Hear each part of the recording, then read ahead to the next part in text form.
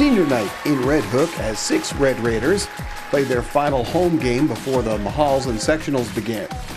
Red Hook manhandled Marlboro in their first meeting, beating the Dukes by 27, and jumped out to a pretty good start here.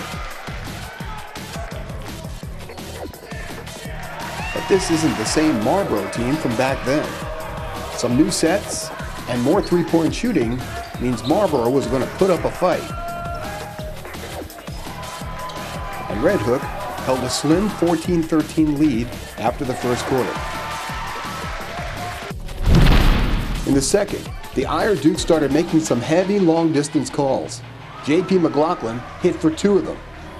But Dennis Hare kept pace, and Red Hook held a slim 28-26 lead at halftime. Hare finished with a game-high 15 points.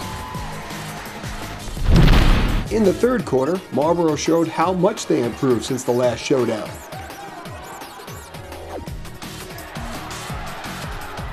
Marlboro had a 42-39 lead after three. In the fourth quarter, the Red Raiders were just one for five from the foul line, while Marlboro was a cool five for six. And that helped the Iron Dukes keep its distance and eventually beat Red Hook by six, 56-50 the final. Uh, I think it's big. I definitely think it's big. Um, I guess we're a team to beat. But Marlboro's a good team.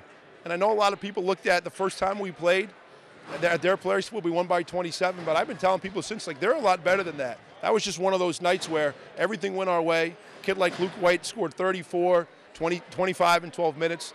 We're not 27 points better than them, and they played better than us tonight. We had won eight in a row, and every game that we've won was double digits. Going into tonight's game at home, you know, we were winning by an average of 30 points. But this is a great call, a great wake up for us because this shows that, you know what, we're beatable. As good as we are, you know, if we play like this, we can get knocked off. And um, we're starting to get to that point where, you know, if we get knocked off, instead of coming into practice the next day and making adjustments, we're collecting jerseys and talking about what could have been.